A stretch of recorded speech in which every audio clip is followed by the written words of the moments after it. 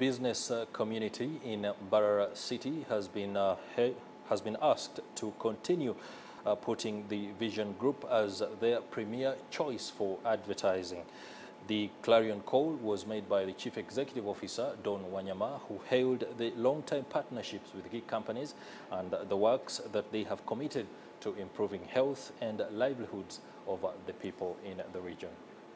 Vision Group CEO made the comments while having an interface with the company's key clients in Mbarara City who have supported the company for a long time. Among the key clients he visited are Kazire Health Products, Day-to-Day Shopping Center and Mbarara Community Hospital, all in Mbarara City. I am here largely to interface with some of our partners who have supported us across our business for a long time.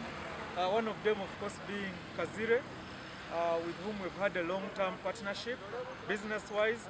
But also the proprietor, uh, Dr. Kazire, is someone we, we use a lot to do medical education for our audiences. He informed them that Vision Group has a strong presence in all regions and experienced staff committed to offer them better services.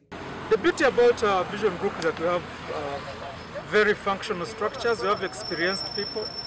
The staff at uh, TV West and Radio West are very experienced, very learned.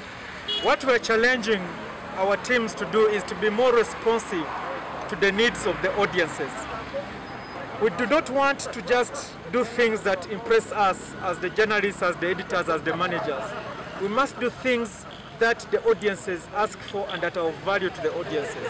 Vision Group of companies, we know it has been committed to giving news, education to the public that is of developmental focus but also the long time and continuous partnership with companies which are committed to improving the health and livelihoods of people is another sign that Vision Group is committed to serve Uganda, to support the government objectives and goals. My target market is more to do with people Uh, I want people around, maybe even the neighboring districts. Vision Group is the biggest media group in Uganda, owning a number of radio stations, television stations, newspapers, and powerful websites. This story was compiled by Abdul Karim Sengendo for the news in Mbarara.